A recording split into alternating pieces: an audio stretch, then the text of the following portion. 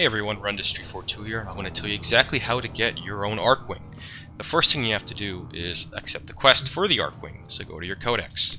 It should be in the top right, so hence quest. You click the Archwing, and then you click begin, which will be here. I do not have it because I already completed it, but that's exactly how you start the quest. Then you get an, a mail from Lotus. You go to your mailbox, which for me will be communications and inbox. And you'll get this with a transmission. And uh, you get your blueprint for the whole thing. Then you also get information on where to go. So you go to your navigation your map and you click on the X here. In the top right it's like an X. And you'll see the Archwing use the foundry to build your own Archwing so the quest here you do it and you'll be in two different types of quest the first one is going into the void to actually get your first part, and the second one is an excavation mission in Venus.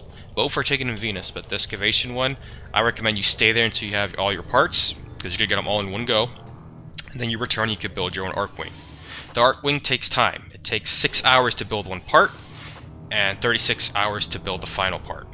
So, unless you have Platinum, you could rush it, and you could have it already. But that's technically how you get it. Uh, nice, quick, and short. Thank you guys for watching, and I'll see you next time.